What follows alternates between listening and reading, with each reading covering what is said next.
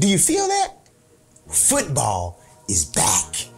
So today we're going to be previewing the season opener between the Tennessee Titans and the New Orleans Saints. So hurry up, go hit the concession stand, and bring me back a beignet.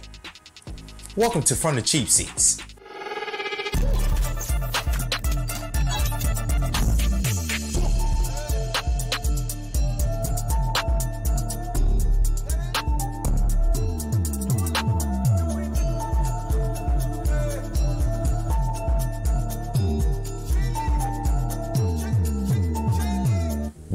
Glad to have you. I'm your host, Bonafide, and this is From the Cheap Seats, the show where we preview and recap all the action from the Tennessee Titans this season. So every week, like I said, we're going to be previewing the upcoming matchups as well as doing recaps after the game. So let's, we're going to give you our honest and unfiltered emotions and our reactions all season long. So let's dive in right now. So, week one, season opener, baby. The Titans versus the Saints. So we going to Nowlands. Is that they say it? Nowlands to play the Saints. And I think the last time we played the Saints, uh, we beat them in OT on a Marcus Mariota TD pass. Uh, I was in Cabo San Lucas for that game for a friend's wedding, and I was in the hotel room going crazy when we scored that touchdown. It's been a while since we played the Saints, uh, and back in those days, those were dark times, so that was a bright spot for us. So the Saints brought in Derek Carr, uh, who signed to be QB1 this offseason. Uh, Slant God, aka Michael Thomas, is back. Uh, he's healthy, so he should be racking up those uh, slant yards at any given time. Probably not against us though. Chris Olave though is their dynamic wide receiver from OSU. He had a banging uh, first rookie season, so I'm expecting to see good things from him this year. Um, he's going to get more targets now that he got Derek Carr. Uh, the Saints defense, defense, we know they got Cam Jordan, and uh, they're expected to continue to wreak havoc on the thing. So uh, yeah, that's the that's uh, look at the Saints. You know, I really don't follow the other teams like that, so that's that's what I see in the media. You know, I'm focused on the Titans. And speaking of being focused on the Titans, this is the debut for Tim Kelly and this new offense. Now, in a recent video that I put up here, I talked about the offense. And also, uh, I, I, talked about the defense as well. Um, and I know this is going to sound weird, I know that the offense is what we've been talking about all along, just offense, offense, offense, offense, offense. But I'm actually kind of interested to see how the defense is going to look. I mean, this pass rush, some something about it, man. Something about having this many legitimate pass rushers on this defense uh, in this front seven is is really like getting me hyped for the game. So I'm interested to see that. Now, don't get me wrong. I'm interested in seeing the offense, but right now I'm interested in to see what this defense can do. Um, so, especially about that, you know. So, I'm actually going to the game. So when you're seeing this, I'll probably be on a plane headed to New Orleans. There's a few Titans events that are going on, so I'm trying to capture that footage and then from the tailgate, and then you know I'll put it in a recap video for that. I plan on going to a few more Titans games here in Florida. Uh, maybe try to make one home game in Tennessee. So whenever I go to a game, I'll try to catch as much footage as I can and put it up here so you can see what it is from a fan's perspective. Uh, so moving on, the injury report. Who's in and who's out? Now, normally this video would come out on Friday after the final injury report is there, but I, I had to drop it because you know I'm gonna be traveling. Um, so I think for all accounts and purposes, uh, we're going in here relatively healthy. Our, our injury report is really short. Uh, I'm going to put it up here on the screen. I think the only one that we were really concerned about was Burks. Was he going to be able to go uh, alongside DeAndre Hopkins? And it looks like the past two practices he's been a full participant with the knee. So I'm pretty confident in saying that he's going to be a go. Like we'll never know until those last minute tweets come out from Jim Wyatt about the uh, who's in, who's out. But I'm, it's pretty safe to say that Burks is probably going to play. Arden Key is probably going to play. Um, the only person that we're kind of waiting on, trying to figure out is um, Harold Landry. He kind of came he was on the injury report with a little abdomen thing. Maybe, and they've, he's been limited, I think, in his participation. So maybe he's got that little thing. Maybe that's the only one that I'm kind of like up in the air about. Definitely want to see what the report is on Friday about, you know, Harold Landry to see if he's actually going to go. But I think he's going to go. So I, I, I don't foresee us being missing anybody else. So really, really healthy. Um, so we're gonna be keeping an eye out that, and like I said, when the tweet comes, then I'll probably retweet it. So hopefully Jim Wyatt and then we'll put it out on on. It'll come out on Friday, the official one, and then we'll see who's questionable, who's you know out, things like that. But then you know, obviously, right before game day, you really know who's active and who's not. So we'll keep an eye on, on that. Gridiron Gambles, which is sponsored by Music City Bets. You can follow them on Twitter at Music City Bets on X Twitter for all of the gambling plays. So our Gridiron Gambles play of the game is Derrick Henry over 80.5 yards. Right now, when I got the play from Music City Bets, it was uh, 110, negative 110. So uh, definitely looks like he's going to hit that number. So that's probably a solid play.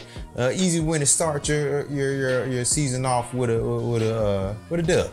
You know, get some units in that bankroll. Because remember, it's called gambling, not cashing out. All right, so that's the play of the game. Your gridiron gamble. Good luck to you.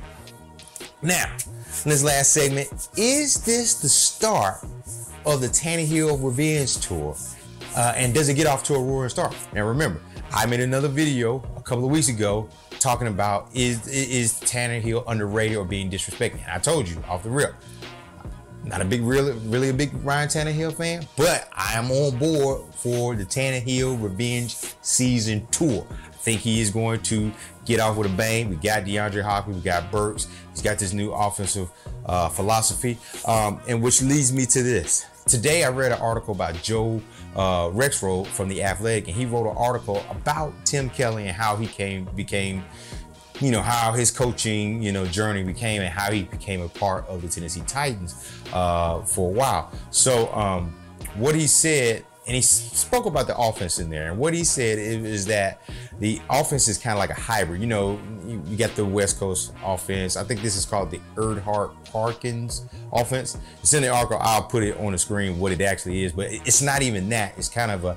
hybrid offense that he's kind of formulated for the team. But what it is is that it's not it's not controlled. Like one of the things he said is that the line doesn't control the protections.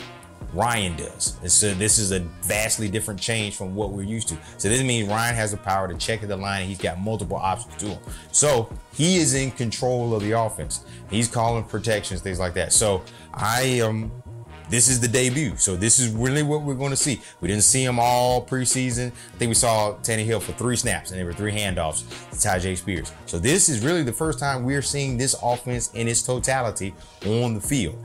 And yeah, game one is is really one you really can't hang your hat on. But I would like to see some positive movement. So if Tannehill is going to start off this revenge tour uh, with a roaring start, he needs to start off good this game to make sure that he can build off that momentum. That means, you know, calling out protections. That's me attacking the throwing the ball down the field, attacking the defense. Uh, that means, you know, not standing there and getting hit when you can throw the ball away. So we shall see. But that's what I'm going to be looking for at this game uh, from the stands. I'm going to see how he looks, how the offense looks, how how that goes. Again, I'm more excited about the defense, but I think you know the way this offense produces could could uh, go a long way. So my final thoughts. I'm, I'm super hyped. As you can tell, I, I just finished watching the uh, the Lions beat the Chiefs, which was a, a, good game, good game, good game. Um, but we've made it to that season openers. Everybody's 0 0 except for the Chiefs. They're now 0 and 1. Um, everybody, with the exception of the Cardinals, because man, they are in a tank a thon uh, thinks that they have a shot at the Super Bowl. You know, you got the AFC, just our, our, division is loaded. We got Aaron, Joe Burrow, who just got paid today, uh, Mahomes. You got Josh Allen up there in Buffalo. You got Lamar Jackson in, in Baltimore. I am it, it is packed. So I am hype about this season. Uh, like I said, I'm super excited about to be able to go to the actual season opener. I already got my tickets. I just saw them today in the inbox to go to the game at the Caesars Superdome to hang out with fellow Titans fans, to, to get that overall game day experience. So, uh, like I said, we're really going to get a good look and, and, see if all of this preseason work that Ryan Tannehill and Nuke were building together, this chemistry, how, is it really going to pay off? Yeah, we're not going to hold one. We're not going to hold one game against them, but we really need to see some, you know, the fruits of their labor per se. Uh, so, um, this is my prediction. So we're 0 0 in the season. Preseason, we got it warmed up. So my prediction is that we're going to pull out the win. We're going to beat the Saints 28 to 10. I think um, Derrick hits the gridiron gambles play, so we make money off of that. Gets over 100 yards. DeAndre and Treylon combined for 160 yards total, and they get two TDs, and the defense gets two sacks and two turnovers. So I think we pull out the win and we beat the Saints 28 to 10. Uh, still not scoring 30 points, but it's we're getting there. All right. So if you made it this far, I'm glad to have you. Uh, don't forget to tune into the next episode on probably on Monday. We'll drop that uh, talking about everything that happened in the game. And we'll see if this is going to be a good episode or a bad episode. It depends. Like I said, this is a fan's perspective. So some of my stuff is going to be a little bit off. This, this is what we've been waiting for. So make sure you like, comment, subscribe, and share it to all of your tight friends. Because, like I said, there is plenty room in the section for all of us. All right. So, thank you for joining us today on From the Cheap Seats. Titan up.